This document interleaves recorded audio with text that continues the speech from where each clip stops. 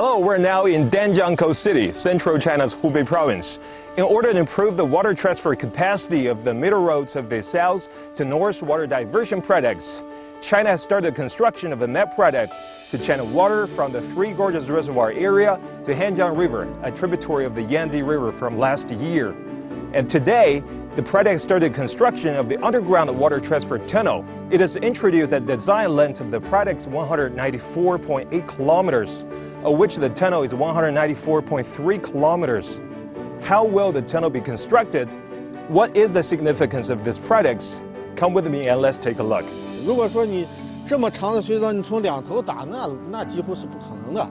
所以就是我们通过设立这个，呃，这个二十六条支洞以后，就是等于说把长水短打了。它可以这个解决这个 汉江流域这个水资源的调配能力，啊，这是一个。第二个就是它这个可以增加南水北调中线工程北调水量，还有这个供水的保证率。